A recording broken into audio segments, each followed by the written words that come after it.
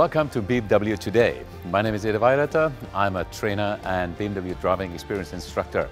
And today's chapter is all about famous BMW art cars. My guest today is Thomas Girst. Hello, Thomas. Hi there, Ede. Thomas, are you the boss of BMW classic cars? Uh, no such luck, I wish. But I'm in charge of the BMW Art Car series as well as BMW Group's cultural engagement worldwide. Oop.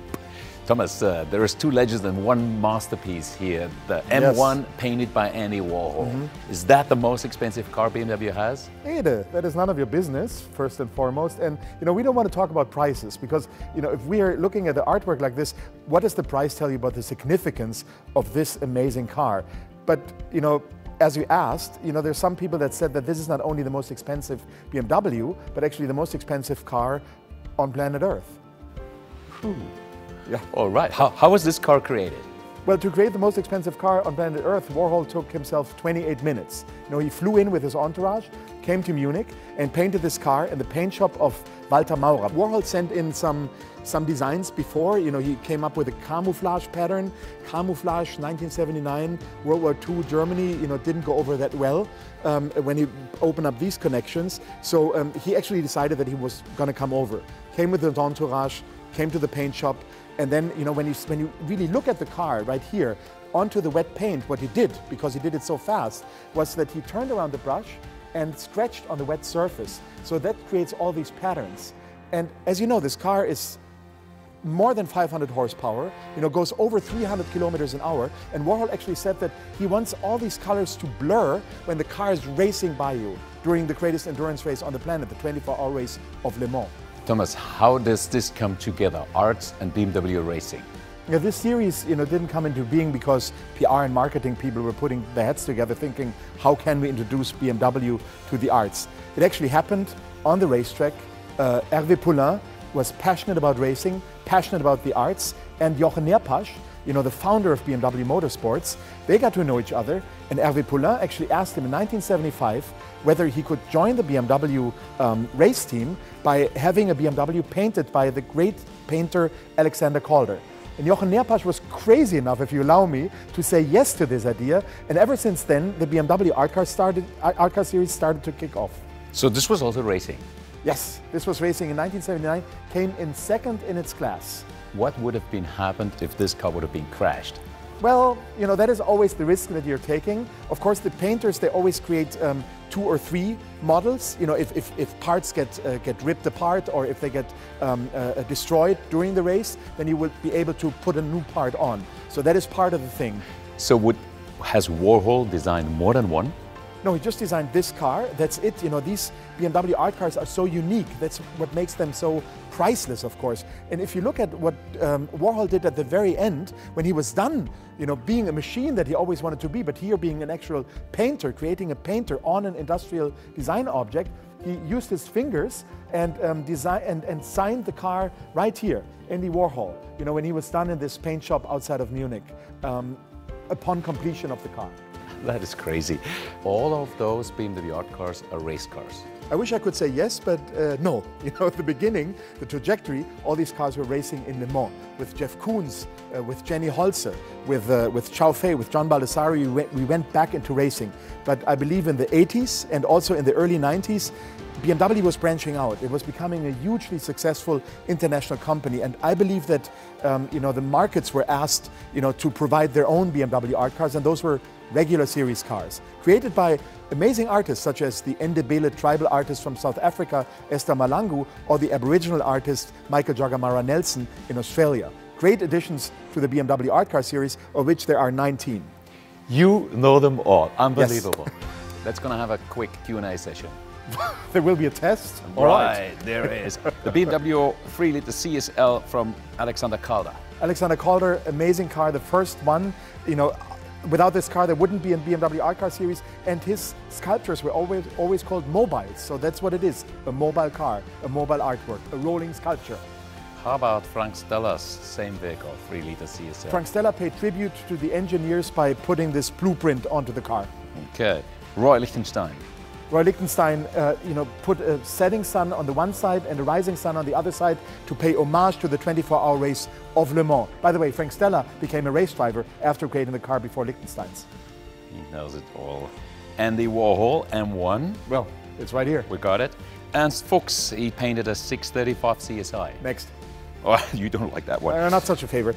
uh, Robert Rauschenberg, also 635 CSI. Rauschenberg, also great artist. Yes, um, he put uh, uh, uh, all these art historical references around this car, which he created in Captiva on an island in Florida. And he said when it was delivered to his studio, it was all white, and it felt like uh, he was almost feeling so romantic about the car when it was delivered to his studio. An M3 of Nelson. Well, Michael Jagamara Nelson, amazing Aboriginal artist from Australia, and he put all these ancient um, uh, symbols and figures onto the car, which is a great addition to have. Okay, then I got Ken Done, an M3. Ken Done, same thing, Australian artist um, paying tribute to the colors of his country. Tatsu Kayama. Modern airbrush, ancient techniques, golden car, what's not to like? César Manrique. César Manrique, amazing colors, great design, good car. Penck, the Z1. Drumming and drinking and creating these Neanderthal stick figures on a red Z1, good car. Um, Esther Mahlangu. Esther Mahlangu is the patron saint of South Africa, an amazing car to have in the edition. She's the first woman artist to ever tackle the subject matter. All right, Sandro Chia on the M3 GTR 92. Sandro Chia, a lot of faces on that car looking right back at you. David Hockney. David Hockney, one of the greatest artists alive right now, uh, put a little dog in the back because he loved his dog so much and thought of the car while driving, you know, through the landscape of California. Jenny Holzer. Jenny Holzer is our return to Le Mans. In 1999, we won Le Mans with that very car. Jenny Holzer put her amazing truisms on the car, like what urge will save us now that sex won't, and um, protect me from what I want. An amazing sentence to put onto a race car. That's crazy. Olaf Eliasson. Olaf Eliasson created um, a hydrogen car as an art car. It's a walk-in freezer with thousands of icicles hanging from this car. It's actually a car that breaks with the art car series anything that came before, but it actually continued after him. Jeff Koons, M3 amazing design. He was delving into advertisements for racing in the 70s. You see it right here on the cover of that book. That is part of his car. Um, many people love it. Um, it was also racing at Le Mans, and he chose the starting number 79 because he's so much infatuated with Andy Warhol that he wanted the, the number in which Andy Warhol's car actually raced in 1979. So you have that great interconnection between those cars that are not apparent at first glance. What a cultural scene that is. Okay, 2016, Baldessari. John Baldessari passed away in early 2020, still miss him dearly, put a red dot right on the roof of the car because he couldn't attend the 24-hour race in Daytona and he said, I'm going to look at it you know, from my uh, television uh, set in California and in order for him to find the car with all the other cars, that's the reason he put the red dot on it. Pure genius. And the final one, Cao Fei 2017 M6 GT. Cao Fei, amazing um, Chinese artist, um, third woman artist to tackle the series. What is great about her is, you know, BMW is going from um, uh, car manufacturer to mobility provider to a tech company. And we want, of course, to have that also be part of what it is that we do in culture. So Cao it's not only the car, which was actually racing in Macau and was doing pretty good. Um, it is about creating an app, creating a video, creating augmented reality, creating um, a virtual reality around that car. So all of this together is the Art Car project, an immersive experience. And it was just great for a young Chinese artist to take us into the 21st century. So the art is developing. Thomas, yes. one question is, how do you guys choose the car and the artist? Well, the one great thing is, is that we don't have any say in who the artist will be. We leave that to the experts. That is international museum directors, chief curators from around the world, from all continents, pick the artist. We, of course, pick the car. It's 2020. You've got 19 cars designed.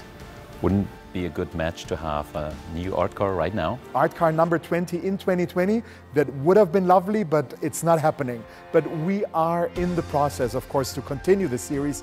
Why wouldn't we? To our community, if they got, you made them really hot now, uh, and they want to see the cars, where are those cars on display? Well, the home of the BMW art cars is the BMW Museum. So there's at least one car on display all the time. Many of these cars are, of course, in high demand when it comes to shows by Warhol, by Koons, by Olafur Eliasson. Um, you know, curators want to show them around the world in museums, and we, of course, want to loan those cars. They're kind of goodwill ambassadors for our brand, but also for this amazing thing that can happen when you know designers and artists work together on a car. So, Thomas, which one is your favorite then? Well, you know, I have three kids and they always ask me, who do you love the most, Daddy? And it would be the same with the BMW art cars. You know, it's hard for me to pick and I wouldn't be able to pick. Your Q&A kind of gave it away, which ones I'm more favored and less favored of. But if I had to go for one, I'd always go with Alexander Calder. It's the first one, the trajectory, the whole nucleus, everything started from there. Without that car by Alexander Calder from 1975, there wouldn't be any other. Thomas, you're a real professor about BMW art cars. And you can keep the book. Thank you very much. it was nice talking to you. Yes. And thanks for all the information. Thank you very much for watching BMW Today. BMW Art Cars, racing and arts comes together, explained in an easy and exciting way. That was very, very cool. If you like it, drop us some comments and likes down here and stay with us, there's more to come.